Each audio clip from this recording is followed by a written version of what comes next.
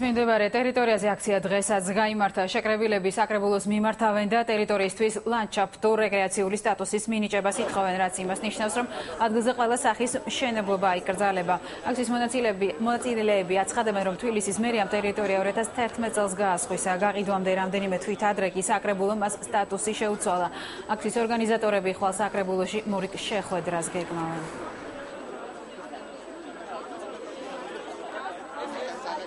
პრივატიზაცია როგორ მოხდა ეს ალკე საკითხია იქ არის საერთო გარემოებები თუმცა რა თქმა უნდა ჩვენ ამას ვერ დავამტკიცებთ. ამას ჭირდება გამოძიება პროკურატურის მხრიდან და სასამართლო ეს უკვე ხელისუფლების საქმეა.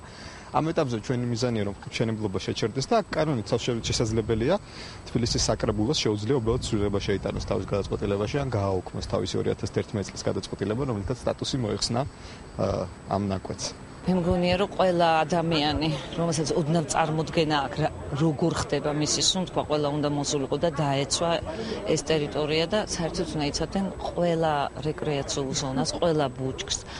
იმიტომ რომ ხინკლით ვერ სუნთქა.